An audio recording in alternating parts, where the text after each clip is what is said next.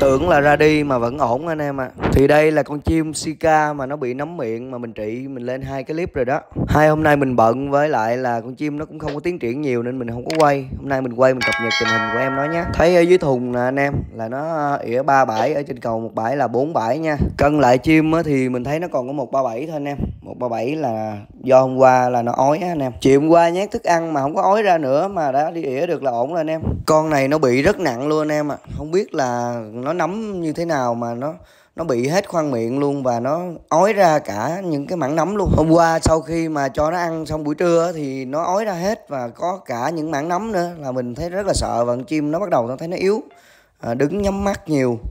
Đó là lúc đó là mình rất là hoang mang rồi. Chim thì à, bị 4 năm ngày rồi anh em mà thấy dấu hiệu thì nó cũng có bóc cái vết ừ, các mảng nám ra khỏi cái miệng á. Đó thì bây giờ anh em thấy mấy cái vết ói này đó nó, nó làm như là nó ói ra cả những cái mảng nóng ở trong cổ ra anh em. Anh em thấy ghê không? Thì những trường hợp mà ói như thế này thì anh em tuyệt đối là ngưng không đút nhát không cho ăn gì nữa anh em để nó nghỉ ngơi nhé. Anh em ra tiệm thuốc tây mua một gói bê vàng và một ống men tiêu hóa về. Anh em bơm trực tiếp vào diều nó một ít thôi anh em nhé tầm à, à, à, nửa cc thôi. Để im cho nó như vậy à, hai ba tiếng đồng hồ sau á rồi bắt đầu mới cho ăn lại nha anh em nhé. Thì đó là kinh nghiệm của mấy anh em trong nhóm á thì truyền lại cho mình như thế nhưng mà hôm qua mình bận á mình cũng không có đi mua thuốc mua đồ không có làm chuyện đó nữa. Thì mãi đến chiều tối á mình mới băm một ít thịt tươi à, mình đút cho nó ha. Thì à, lúc đó mình nghĩ là nếu mà qua được đêm nay á thì mới ổn chứ còn nếu mà trong đêm mà nó ói ra tiếp á thì chim ra đi chắc luôn tại vì mình thấy nó bắt đầu rất là yếu rồi. Đó sáng ra thì mình cũng thấy là mình cũng mừng và mình cũng băm một ừ, miếng thịt nữa. Và mình à, giả cái à, một phần tư viên à, canh anh em một phần tư viên thôi. À, mình giả ra mình ừ, bóp chung với cái thức ăn này để à, sáng nay mình cho nó ăn. Thì đây là lần đầu tiên mà chim mình nuôi bị nấm miệng nên là mình cũng không có biết liều lượng chính xác của cái viên canh hay là cái viên metronidazole là bao nhiêu. À, mình cứ sợ là nó sẽ bị à, sợ là nó sẽ bị quá liều á. À, mình không dám cho nó uống nhiều. À, và đầu tiên thì mình cứ cho một phần tư một phần tư á. Có một số anh em thì có nhắn tin cho mình nói là cứ cho uống nguyên viên. À, mình không dám luôn. Mà mình thấy ba bốn hôm mà nó không có hiệu quả thì mình có nâng lên là cho nó uống nửa viên. Đó nhưng mà con chim vẫn không sao anh em nhé. Nên là à, anh em cho uống từ nửa viên là không sợ nó quá liều nhé. Còn một viên thì chắc mình chưa dám đâu anh em. Chưa dám cho nó uống cả viên đâu nên là anh em cứ chậm mà chắc cứ tầm nửa viên nhá. Con này của mình đó là à, trọng lượng xăng của nó là 150 anh em nhé đó, thì anh em cứ canh có thể nhỏ hơn thì anh em bớt ra bớt thuốc còn có thể lớn hơn thì anh em cứ tăng thuốc nha thì à, mình cũng muốn chia sẻ lại với anh em để anh em nào mà lần đầu gặp mà hoang mang á, thì cũng giống mình á thì cũng sẽ có được một số cái kiến thức để à, nói chung là ít nhất là con chim nó không ra đi. Chứ còn mà trị thì có thể anh em tăng liều lượng nó có thể nó nhanh hơn à, còn giảm liều lượng có thể nó chậm hơn nhưng mà con chim nó sẽ gọi là anh em mà đã vô thuốc thì ờ, cái vấn đề nấm á thì nó sẽ bị uh, khô rất là nhanh và nó khoanh vùng lại nó sẽ không lan rộng ra nữa. Còn nếu anh em phát hiện chậm thì nó bị nấm nặng quá như con của mình là quá nặng rồi anh em. Con mình quá nặng rồi à, mình bây giờ mình nhét thì mình phải dùng hai tay để nhét. Thì uh, theo mình là anh em không nên nhét cho nó ăn quá nhiều nhé mình em có thể chia ra ví dụ băm thức ăn thì chúng ta có thể là à, thay vì cho nó ăn 20 gram thì chúng ta mỗi lần cho nó ăn 6 7 gram thôi. À, cho ăn sáng à, chúng ta nhét. Xong rồi à, trưa chúng ta nhét. Rồi chiều chúng ta nhét. Chia làm hai chia làm ba lần ra. Chia làm ba lần ra thì à, chúng ta nhét mỗi lần 6 7 gram như thế.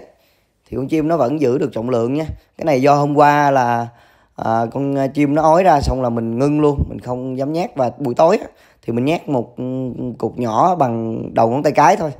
Để giữ cái cái à, giống như là để cho nó tiêu hóa nó nhử cho nó tiêu hóa thôi. Thì ok sau khi mà qua một đêm thì con chim nó ỉa bình thường và không thấy nó ói nữa.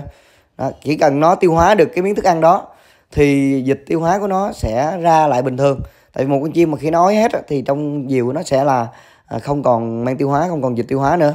Đó, thì anh em chỉ cần cho nó ăn đúng một xíu thôi giống như có một tí thức ăn trong đó thôi để cho cái kích thích nó tiết ra men tiêu hóa và dịch tiêu hóa trở lại đó là sau đó anh em cứ nhử là cho nó ăn nâng lên một tí nâng lên một tí dần dần. Chứ không phải là à, anh em thấy nó ói ra anh em sợ quá anh em vẫn nhét cho nó ăn ngay lập tức thì nó tiếp tục ói ra.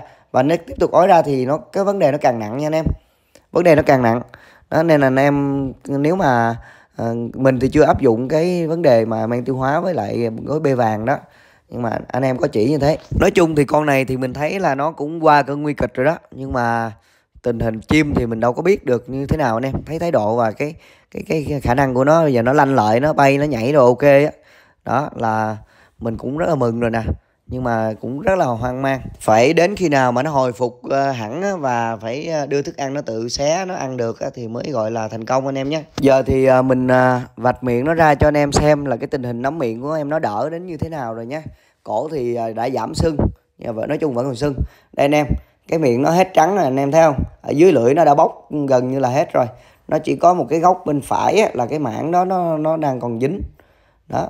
Thì cái góc bên phải này là từ cái hôm đầu tiên mình quay là mình đã nói là cái cái cái mảng bên đó thì nó hơi bị dày và nó nó nó ờ, to nó nhô lên luôn còn ở dưới lưỡi là hầu như nó bóc hết rồi anh em. Cái điều này chứng minh được là methodinazole à, và cantrix là nó có hiệu quả anh em nhé. Do là mình dùng cả hai loại luôn nên là mình cũng không không có nhận xét là cái nào hiệu quả hơn cái nào được. Nói chung là hai loại này nó đều rất là rẻ anh em. Như một vỉ cantrix thì à, cả vỉ của nó có hình như có 10 ngàn thôi.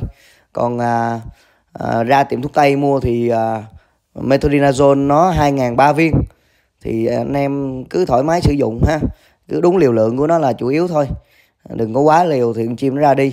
Đây là cái cách của mình à, nó là cái trải nghiệm của mình. À, vì cũng đây cũng là lần đầu tiên mình trị một con chim à, săn bị nấm miệng mà nó bị rất là nặng luôn em. Mình muốn quay thực tế từng tiến trình của nó luôn để anh em có thể à, nếu mà gặp phải thì có thể tham khảo được. Mình à, hy vọng là có thể giúp đỡ được một số anh em nhé. Hãy like và đăng ký kênh để ủng hộ mình nhé. Cảm ơn anh em nhé. Bb xin chào và hẹn gặp lại anh em ở những video sau nha